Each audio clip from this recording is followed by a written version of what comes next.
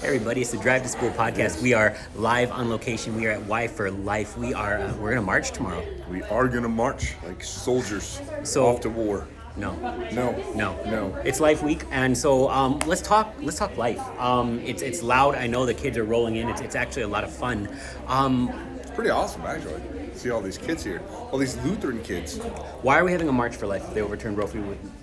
Roe v. Wade. I don't know. I, that's a little. I mean, it's not like the the fight, and I hate to say fight because it's not a fight, not a but it's a fight. fight, but it's not a fight. Um, but it's not like it's over, right?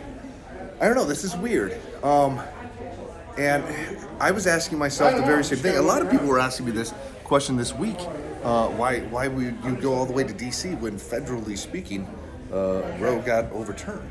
Right, and, and so I mean, whether or not you want to call it a fight is sort of actually the thing. When when we talk about battle, when we talk about war, as Christians, it's not us against other people. It's in fact Christ against sin, Christ against death, Christ against the devil, and that war's that war's done. It is done. When, when we talk about th- this this war, then when it comes to issues of, of, of sin, of death, of, of even great magnitude and importance, if you're going to leave out Jesus, there's a lot left to fight about. But if Christ is yelling from the cross, it is finished both for the sinners and the sinned against, you have a different kind of thing happening.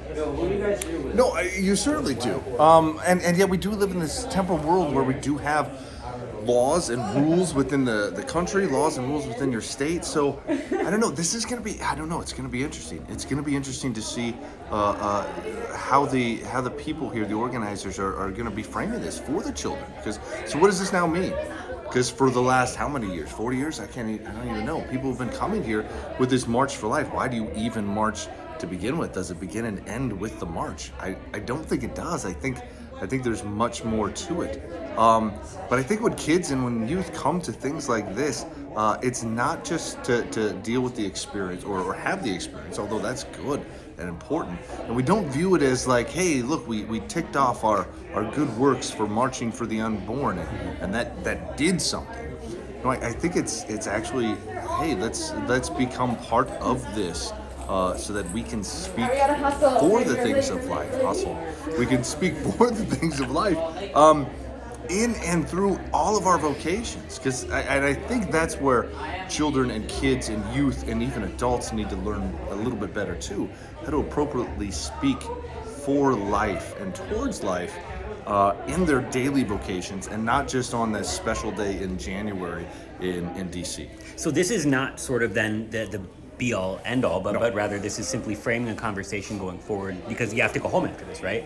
Yes, you do. It's it's like any conference that you ever go to. You're up on the on the high mountain and you get all pumped up about it, and then you go home and you're back to the real world. Well, if these things of life are that vitally important that our Lord has given to us, um, then yeah, they should go into your daily life. Um, they should go into the, the, the state stuff and the local stuff and your congregation and to your family and to your neighbors. And how is that actually going to look? And it's going to look a little bit different depending on what your vocation is. If you are a, a politician, then you're going to approach it in the, the vocation of politician. And, and As you should. right, even as a citizen, to, to vote when, when you're given the opportunity of your kid and you can't vote yet, you get to love your neighbor.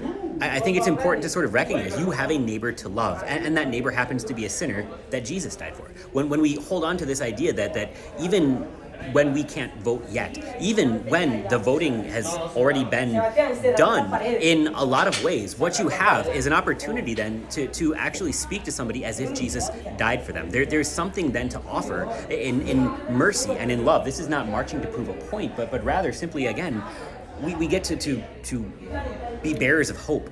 Right, right. Uh, I think a lot of people uh, in these marches. I think a lot of marches altogether. It's it is this this this thought process of we're marching, we're doing this militant We're thing, winning. and yeah, we're winning. With look at all the numbers that we had and and all of this. I think the march for life, the understanding of this is is yes, there's certainly temporal things that we're trying to to over overturn, and, and in a certain way, in a federal way, we've done that now. But that's going to change in, like you said, it's going to change in your vocations. It also changes whatever state you live in, and that's the weird and strange and special thing about America is, Right. is uh, somebody in Colorado like me, nothing changed when Roe got overturned. Mm-hmm. Colorado's is still the same way, but if you live in Montana, everything's different. Right, and, and so it's getting loud here. Uh, we still got a lot to do, um, but but as we're kind of wrapping things up, then um, your vocation doesn't change depending on the law. Your vocation Right. doesn't change depending on the state you live in. Love your neighbor and receive mercy from Christ, um, but not in that order, I guess. Right. No, exactly. Right. Receive mercy, and then through that mercy, love your neighbor. And if you don't know exactly what that looks like in regard to the things of life, uh, talk to your pastor. And, and say, okay, hey, uh, here I am sitting i- i- in in wherever. Um, how am I, as a 16 year old youth who loves these things of, of life, um, how can I actually affect change and, and be good for my neighbor? How can I serve my neighbor? Yeah, Ask your pastor, ask your parents, ask your teachers, absolutely. get involved. All right, thanks, kids.